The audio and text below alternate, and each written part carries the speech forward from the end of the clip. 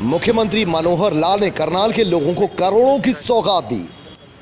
उन्होंने नगर निगम की योजना और सुपर सकर मशीन को हरी झंडी भी दिखाई। इस दौरान मुख्यमंत्री ने लोगों से प्लास्टिक छोड़ने की अपील करते हुए कहा कि शहर को प्लास्टिक मुक्त बनाया जाएगा और लोगों को बीस रुपयों का बैग दिया जाएगा जिससे लोग जागरूक हो सकें। प्लास्टिक फ्री करने के नाते से और एक फ्री बैग देने के लिए फ्री बैग नहीं है। कितने का है वो? बीस रुपए। का एक बैग मिलेगा।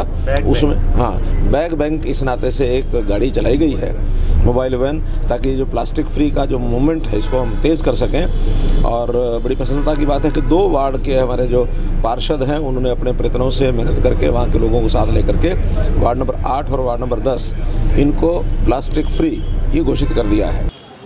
हरियाणा में विधानसभा के चुनाव होने वाले हैं। जब चुनाव को लेकर मुख्यमंत्री से पूछा गया कि बीजेपी उम्मीदवारों का ऐलान कब करेगी तो उन्होंने कहा कि पार्लियामेंट्री बोर्ड नाम फाइनल करेगा। फाइनल करने का काम पार्लियामेंट्री बोर्ड का है। हम तो कुल मिलाकर के प्रदेश की ओर से एक पैनल बना के भेजेंगे, लेकिन चुनाव जब चुनाव घोषित हो जाएँगे इसके बाद की प्रक्रिया है। चुनाव जब घोषित होंगे, फिर हमारा ये रूटीन का जो काम है, इसको हम फेस्ड मैनर में करेंगे और निश्चित रूप से पार्लियामेंट्री बोर्ड के सामने जब जाएगा। चुनाव को देखते हुए मुख्यमंत्री प्रदेश के लोगों को लगातार सौगातें दे रहे हैं। इसी कड़ी में करनाल के लिए भी कई घोषणाओं की सौगात दी गई है। आर नाइन टीवी के लिए अंबाला से कमरजीत सिंह की रिपोर्ट।